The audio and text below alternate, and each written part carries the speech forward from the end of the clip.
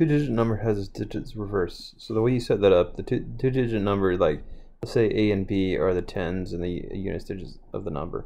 We want them to be single entities, like three and two. You know, how do we make that an actual number so we can set this out up algebraically?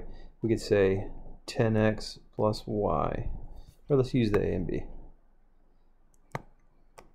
10a plus b will actually make this into 32 if if a equals 2 or a equals 3 and b equals 2 10a plus 3 or plus 2 or 10a plus b gives me 32 the actual number. Then they say to reverse the digits. So that's now 10b plus a. Now it's 23 I switched them around.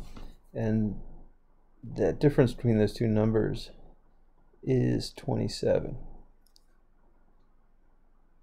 Okay, well now we can say 10a minus a is 9a, b minus 10b is minus 9b, that equals 27, divided by 9, a minus b equals 3, that's the 1.